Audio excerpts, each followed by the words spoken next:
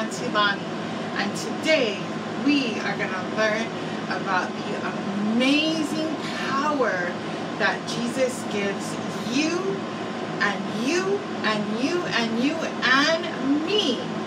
But before we do that, I want you to get up and get ready because we are going to have some fun with worship. Be right back.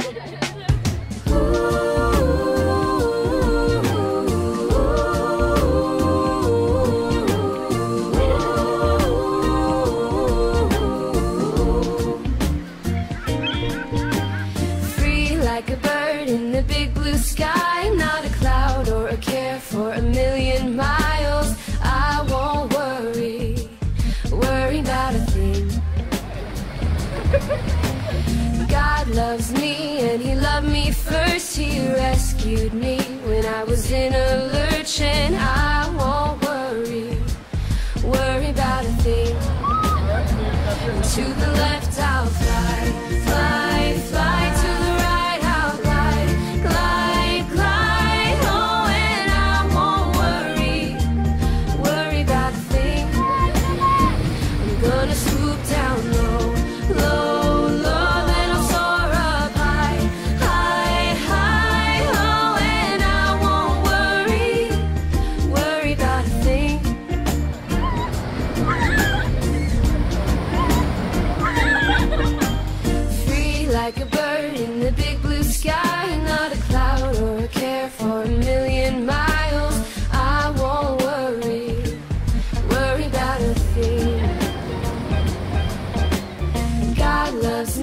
and He loved me first. He rescued me when I was in a lurch, and I won't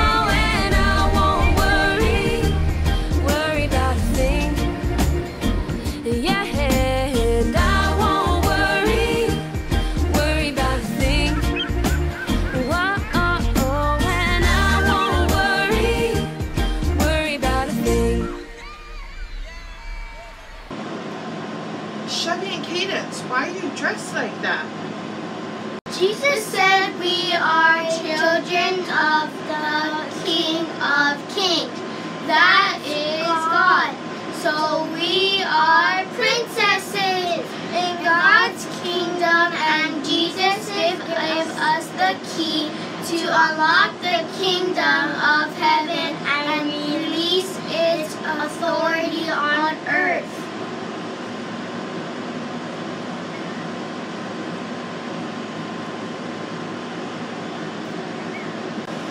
Thank you so much, Chevy and Cadence. You are so great. I'm going to read some Bible passages from our awesome and most powerful weapon ever called the Bible. Matthew 28 18. Then Jesus came to them and said, All authority in heaven and on earth has been given to me. So Jesus said he had complete authority on heaven and on earth. And then listen to this verse. Matthew 16 19. I will give you the keys of the kingdom of heaven. Jesus had all power and authority, and now he's giving you the keys to the kingdom of heaven. Do you know what that means? It means that all that power that Jesus had, he has sent his Holy Spirit and has poured it out upon all people.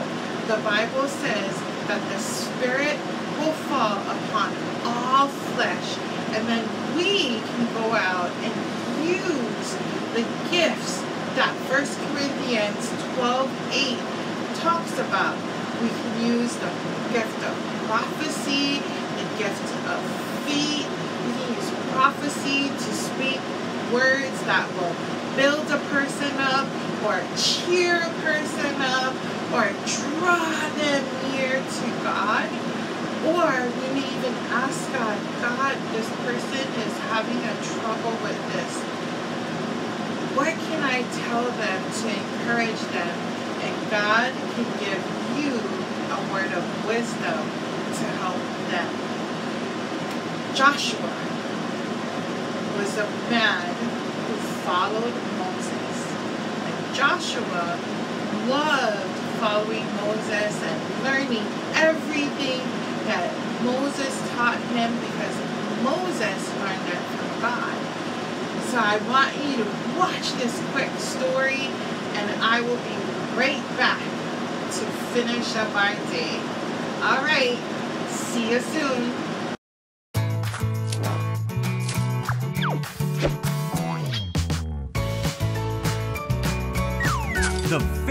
Hall of Fame. Joshua.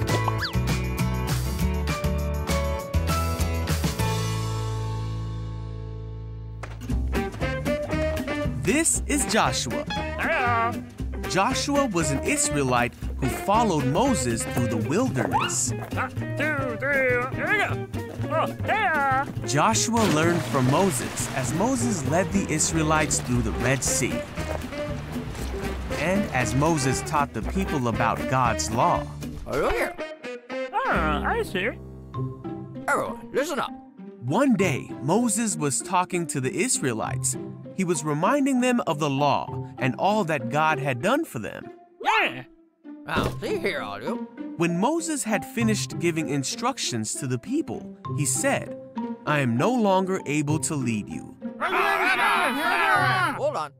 Do not be afraid, for God will neither fail you nor abandon you. Yeah. Then Moses called Joshua Yeah. and told him to be strong and courageous, for he would lead the Israelites into the promised land. Well, see? Then Moses died. Uh, To this day, no one knows exactly where he was buried. The people and all of Israel mourned. The people of Israel looked to Joshua to lead them, as Moses had told them. There he is. Yeah. God told Joshua to be strong and courageous, for he would be with Joshua wherever he went. Ah. He told him to remember what Moses had told him and to study the book of instruction. Ah. God told Joshua that it was time to lead the people of Israel across the Jordan River and into the promised land. Okay, here. Joshua told the Israelite officials to go throughout the camp. Get out there. They instructed everyone to pack up and get ready to head out. Come on. Joshua told the Israelites they were going to cross the Jordan River. See here. This is what we're gonna do, okay? And so, Joshua prepared to lead his people as the Lord had commanded. How did you like that? That was pretty funny, huh? I like that part too. Um, you know, Joshua was a little afraid because he was so used to following Moses. But Moses told him that God had called Joshua now to lead the people. And he told Joshua to be strong and very courageous. And Joshua did just as he was told.